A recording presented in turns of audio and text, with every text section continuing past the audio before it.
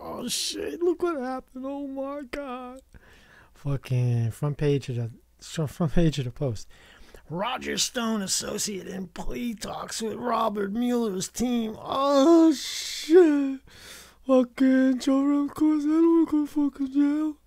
Oh man, fucking. Yeah, take it, take it like a man, you fucking Joe Corsi. I know Trump and Trump's gonna let you get your fucking ass fucked, man. So, man, I'm fucking 75 years old. I want to go to jail. I didn't lie. I lied, but I didn't mean to lie. Oh, shit. Fuck, you're going to fucking jail, you motherfucker. ah, having a good laugh at these guys' expense. Roger Stone, associate in the plea talks with Mueller's team. 1 p.m. today. Let me read this. Conservative writer and conspiracy theorist Jerome Corsi is in plea talks with special counsel Robert Mueller's team, which has been investigating Russian interference in the 2016 presidential election.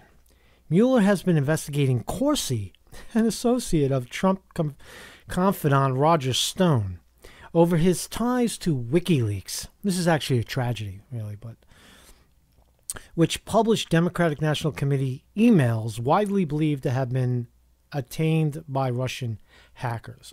Well, widely by who? They're not widely believed to have been taken by Russian hackers. That's besides the point. Corsi confirmed the plea talks to be to the Associate Press on Friday. So it's confirmed. Corsi's talking to the press. Last week, Corsi said on a YouTube video that he expected to be charged with lying to federal investigators after plea talks with the special prosecutor's office. When the special plea talks, after the plea talks with special prosecutors broke down. Mueller's team had questioned Corsi as part of an investigation into Stone's connection with WikiLeaks. It's a tragedy, right? So here they are. They didn't believe the Mueller thing was real. None of it. See, none of none of their involvement is is anything significant. What is significant is that that that's how they get you. They trap you. You talk, you talk, you talk. You make up a story, and then they get you for lying, right? That's how they that's how they hammer you. So, so these guys are in some deep shit. Hopefully, um, you know, hopefully Trump will get him out of it. I fucking want to go to jail. My, I might die in jail. I'm fucking 70 years old. I can't take it. In. My ass is too small. Uh,